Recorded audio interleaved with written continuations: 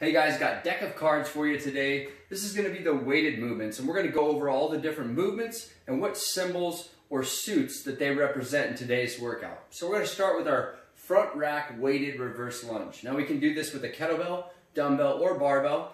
I'm gonna take that weight, get it up into the front rack position, keep that elbow nice and high so that when I lunge, the shoulders don't come forward. I'm not putting pressure on that lower back, causing problems down the road.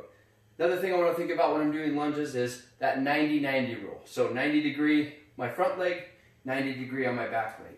When I get to the top, open the hips all the way up, making sure I'm standing in full extension at, top, at the top. Then I alternate legs each rep. Really focus on keeping that elbow up. That'll help you guys with those lunges. That's going to represent our spades for today. Next, we're going to get into our clubs. Our clubs are going to represent our push press for today. Now again, that can be done with a dumbbell, kettlebell, or barbell.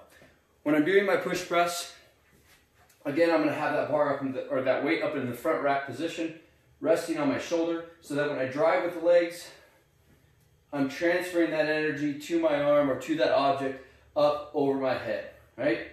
Make sure we keep those heels on the ground as we're dipping, not letting the heels come off the ground I want a nice sturdy base so that I can drive and extend. Those are going to be your clubs and those are going to represent our push press for today. Next is going to be our diamonds. We can do sit-ups here. We can use an ab mat if we have one or we can go with our weighted sit-ups. So using dumbbells.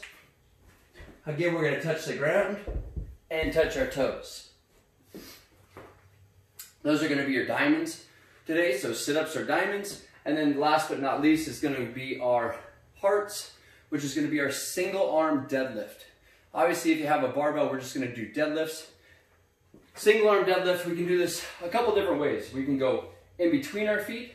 I really like to go on the outside of my feet here, keeping the back nice and flat, getting a good stretch, really thinking about hinging at the hip, and then squeezing that butt cheek all the way to the top right? Still have to focus on keeping my shoulder back even more than ever, because if not, then I start getting that roundy round going. So nice pulled shoulder, pulled back shoulder, standing to full extension, touching the ground each time.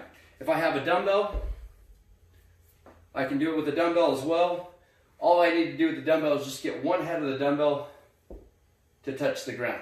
So, our hearts today are going to represent our single arm deadlifts.